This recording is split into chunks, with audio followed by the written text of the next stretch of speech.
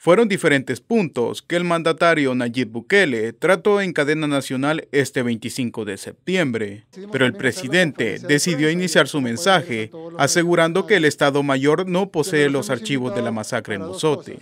La mayoría de archivos, como todos ustedes se esperarán y como cualquier salvadoreño se imaginará, fueron destruidos en estos 40 años. ¿Cuándo? No lo sabemos.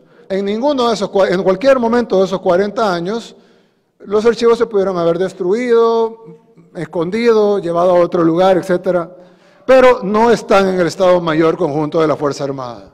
Por su parte, el diputado Raúl Beltrán Bonilla consideró que la solicitud de dichos archivos se está convirtiendo en algo de interés político.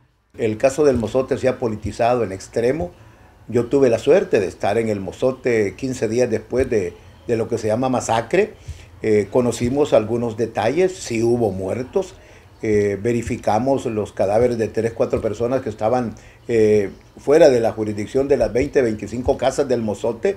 La decisión de un juez y, seguido de organismos que, que son estructuras que sirven a una causa ideológica, me parece que seguimos desgastándonos innecesariamente en ese tema.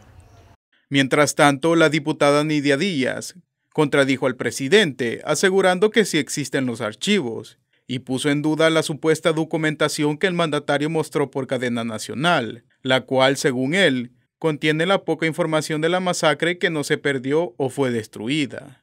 Y los archivos están en alguna parte, ¿verdad? Porque nosotros no hemos recibido nunca una notificación que se destruyeran o que se apartaran.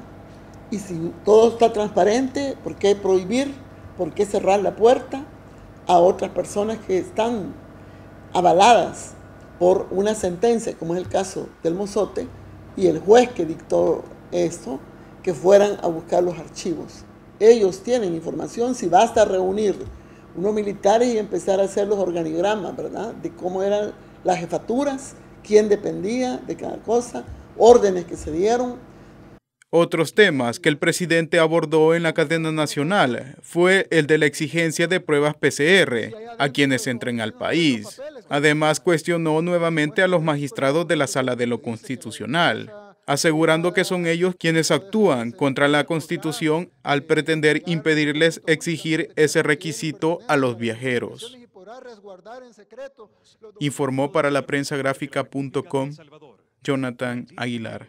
Gracias.